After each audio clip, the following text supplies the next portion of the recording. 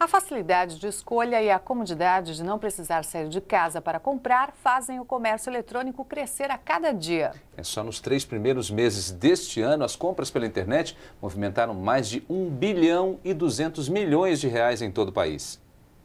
Antônio Carlos contribui com as estatísticas de crescimento no comércio eletrônico. Em primeiro lugar, pela comodidade, né? Então, eu, na minha casa, no conforto da minha casa, sem precisar pegar trânsito, fila, eu consigo fazer primeiro uma pesquisa de preço com os, com os, o, com o produto que eu quero comprar, eu confio 4, 5 sites. E segundo, pelo detalhamento, eu consigo muito mais informação, se o produto é bom, se não é bom.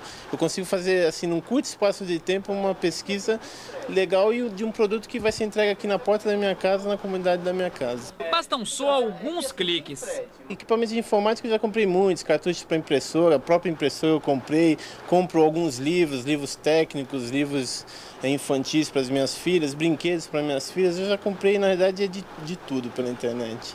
A esposa também entrou na onda da internet. Ir ao supermercado agora só mesmo Hoje é para passeio. A gente economiza o tempo realmente que estaria na rua, né, fazendo essa atividade, e ao mesmo tempo a gente recebe as compras em casa, só tira da sacola e vai guardando, confere e guarda. Então é muita praticidade. Clientes como esse casal é que movimentam já gigantesco comércio eletrônico. Só nos três primeiros meses deste ano, as compras pela internet aumentaram 53% em relação ao mesmo período do ano passado. Os mais vendidos são livros, revistas, TVs e câmeras digitais.